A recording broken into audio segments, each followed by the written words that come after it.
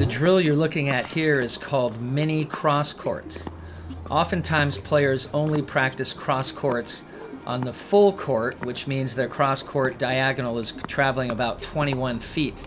But oftentimes you have to hit cross courts half court, short court, so it's a much smaller shot, a much shorter distance, and it's very important to practice these mini cross courts as well as the full diagonal cross court.